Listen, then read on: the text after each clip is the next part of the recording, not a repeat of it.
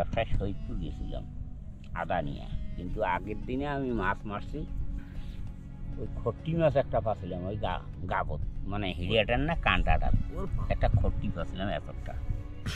তখন তো সংসার খুব নাজুক কাম করি ভাত খাওয়ার নাই।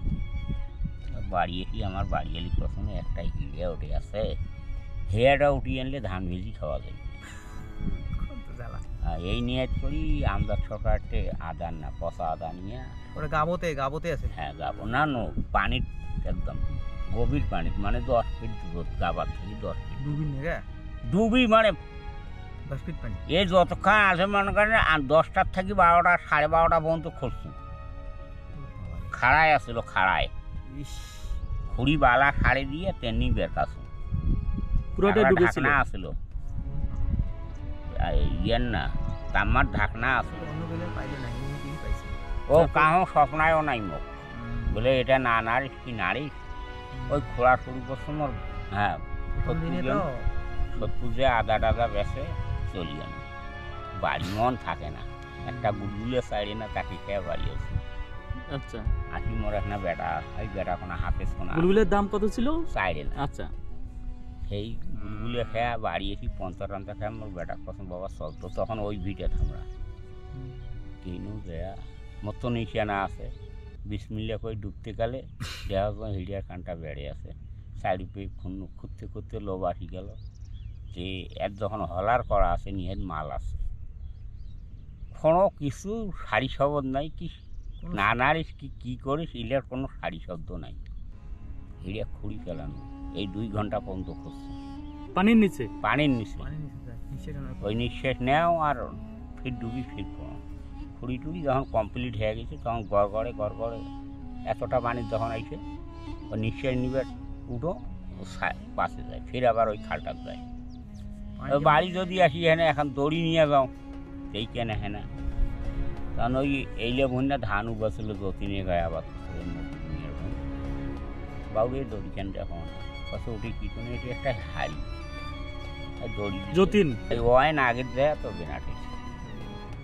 মুই যদি ছাড়িয়েছ তারপরও পানু হয় জ্ঞান হয় তারপরে কি করল দড়ি নিয়ে কি তারপর দড়ি নাগা গালার দড়ি নাগে দিয়ে আমার টানেছে আর মুই এম করে ঠেলোছম কিন্তু গালাটা যাবে ধরছি। আর মানুষ হাজারে হাজারে মানুষ কাম করেছে দড়ি এই হিড়িয়া ভাসে উঠি ওই যেই ভাসাছু ভ্রাম করে একটা শব্দ হয় ওই ঢাকনাটা যে খুলে গিয়েছে মনে করেন পাঁচটা আইপিএলের শব্দ হয়েছে। পানি তোলাতে হ্যাঁ পানির তল তারা ভর ভর ভর ভর করে চলে গেল। এরা খালি মুখে নিহের তো কিছু।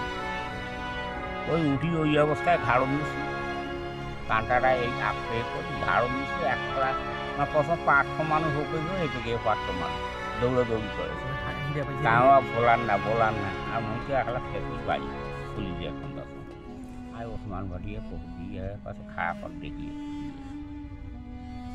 নাই কিছু খালি টাকার দাম টাকা খালি টাকা হইল কাঁচা টাকা আছে। কি স্বর্ণের টাকা ছিল না রূপর রূপর কি স্বর্ণ? কিন্তু চল টাকার দাগ আছে। হিরাটার দাগ দাগ লাগছে। উল্টি ফেল দিলে একটা পানিও নেই। কবু দিয়ে পাশে ধন আসলো আর কপাল। তখন ছুটি চলে গেল। নিয়ে যাই কোনো করছে ধান চলে গেছে। এই হিরা থুয়ে তো ওই আইতো।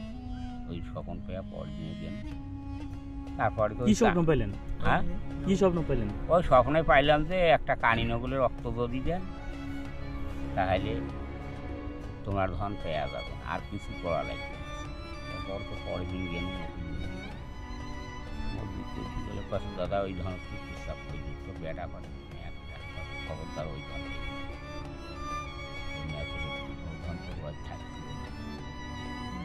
কিন্তু ওই হিড়িয়া পাওয়ার সাথে সাথে আমি নিয়ে একটু যে আল্লাহ যদি মুখ দেয়। আমি আল্লাহর ঘর একটা বানিয়ে, একটা মাদের সাবান ওই টাকা দিয়ে কোনো কম আজ এটি পাই ইট করে ফেলেছে হ্যাঁ ওটি এই দুইটা গোটায়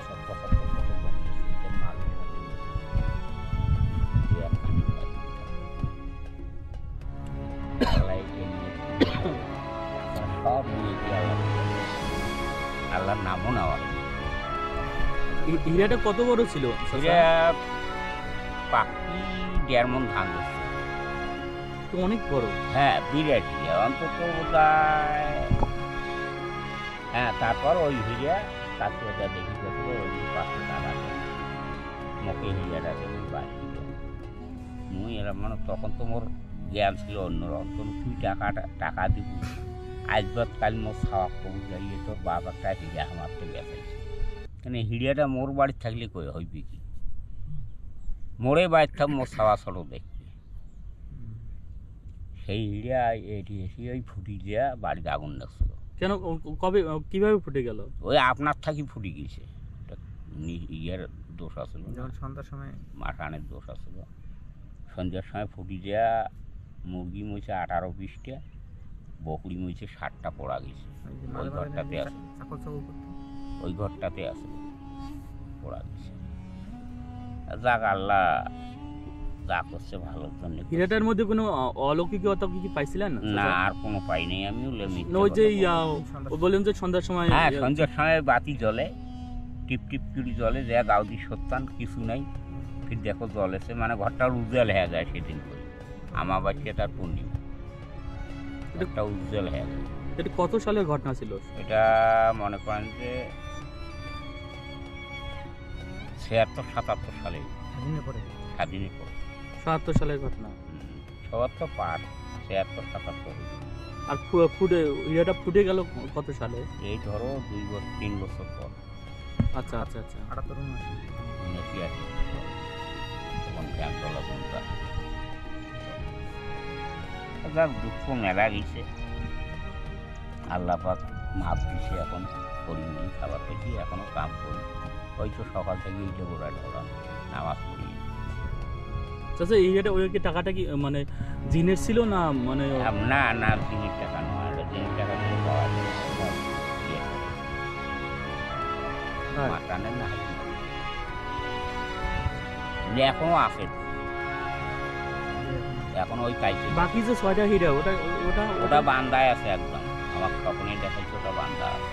হয়তো খালি তোমরা এক কানি নগুলো রক্ত দাও সম্পূর্ণই তোমার বাড়ি শোনো না আমার চলবে আমিও খুব জিদি ওটা কি মনে করেন ওই ওই পানির মধ্যে ওই জায়গাতে না ওই উপরত আছে। এই পাটোয়ার বাড়ার না গাছ লাগায় নাই। এই গাছটা হেঁটে ওটা একটা কাঁচির গাছ আছে। হ্যাঁ। এই পিকে একটা তেঁতুলের গাছ আসলে এই পিকে একটা কাঁচির গাছ আসলে। এখন হেঁটত কইছি না উপরত আছে কিন্তু মনে হয় উপরত আছে এখনও।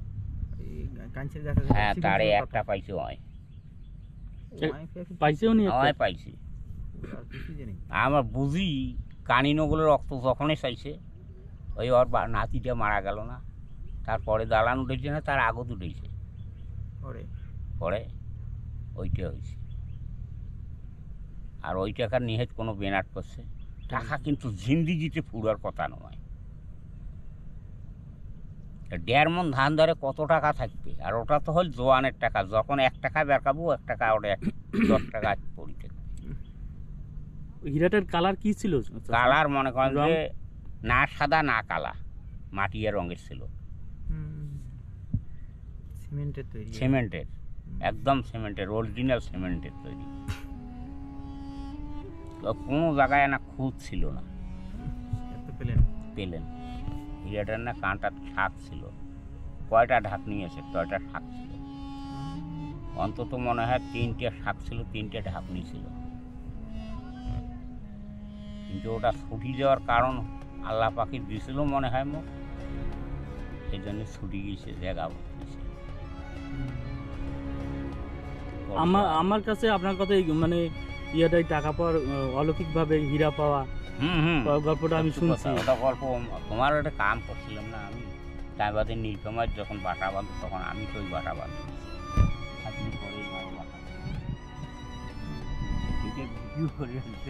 হ্যাঁ চাচা ভিডিও না আমি তো ওটা যে হীরাটা দেখব আমরা ওই আশা নিয়ে আসছি। হ্যাঁ, দেখলাম ওর সময় নাই। চাচার বাড়ি তো আমি তো সঠিক বুঝতে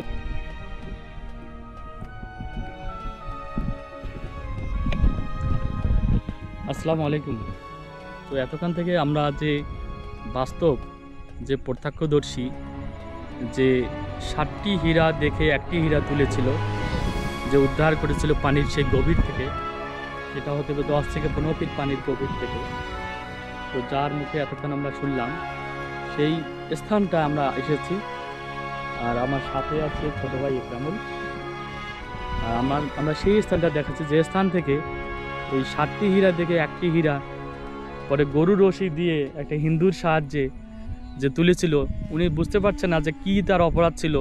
যে কোথায় গ্যাপটা ছিল যার ফলে মুহূর্তের মধ্যে রশিটা লাগানোর পরে পানির ভিতর থেকে বিকট আওয়াজে সব টাকা আস্তে আস্তে বের হয়ে যায়।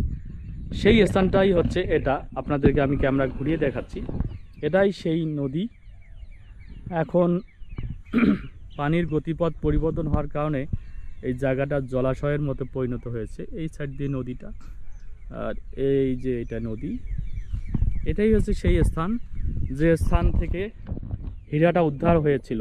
ষাটটি হীরার মধ্যে একটি হীরা এখান থেকে উদ্ধার হয়েছিল, তুলেছিল এবং এই হীরাটার আকারে ছিল দেড় মন ধান একটা হীরাতে ঢুকতো বা ভরানো যেত।